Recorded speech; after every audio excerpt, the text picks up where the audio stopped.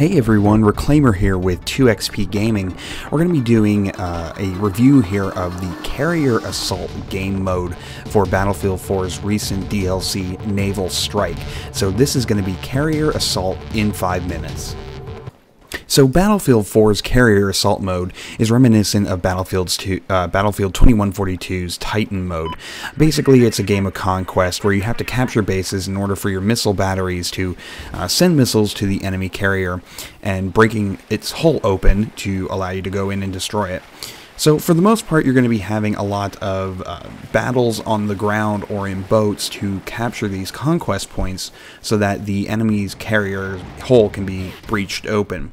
For the most part, the carrier assault mode, since it is a naval strike map, is going to be done with boats, hovercrafts, ribs, etc. You're going to be doing a lot of boat play in this game. It's going to be really good to become a medic or um, uh, an engineer so that you can revive your dead teammates and also go ahead and take out the boats that are going to be mowing you down, um, as you can see here, as I just got mowed down. So uh, don't count on too much crazy infantry gameplay in the beginning stages of it. A lot of it you need to run around, capture base, but you're going to have a lot of boats and engineers going after you. The the majority of this mode where it gets really fun is when the carrier hull is breached. You are then able to go in and arm two MCOM stations to destroy the carrier. You can choose to go in with your team and arm these MCOMs. You can stay back and defend your carrier if it's open. Uh, it's really up to you. So when it comes to assaulting the carrier, you have to wait for the enemy carrier to be opened up. It does take about a minute or two, and then you need to be careful of any infantry that may be in here. This is where you get really good close quarter scrums where you're going to want to have your laser sight or your tactical light, a lot of good close quarter weapons. Your team or yourself will arm the enemy MCOMs, and then you're going to go ahead and move forward to the engine room assuming you're successful in blowing that first MCOM up.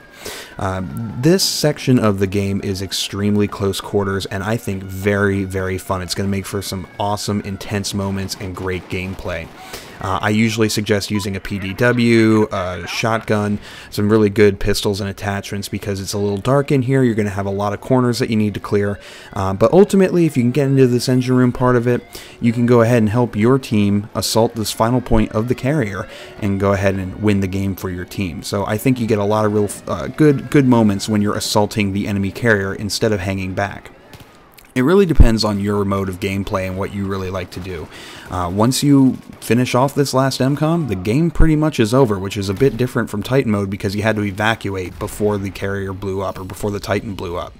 Now, like I said, you can also choose to stay back and defend your carrier if your carrier is open. This is going to make for some camping moments and, you know, depending on how you like to play, uh, you know, you can camp here and wait for some of the um, the enemy to come in and go ahead and mow them down, try and prevent them from arming those MCOMs. You can certainly go ahead and stay out uh, and continue to capture the conquest points to have rockets continue to hit the enemy carrier and further damage its hull. However, if you're going to be defending, it's best to pick a spot, take some good attachments, and go ahead and, and, and keep the keep your carrier clear of the enemy infantry. So you definitely would like to have, you know, flashlights, shotguns, whatever you think works best for, again, close quarters, tight corners, all those fun things that you like to play in a battlefield match. Now, I will say that Carrier Assault certainly differs from the Titan mode that was in Battlefield 2142. Um, I think that this mode of gameplay is just basically a mixed mode. It, it's merging Conquest and Rush together with a common objective of this carrier.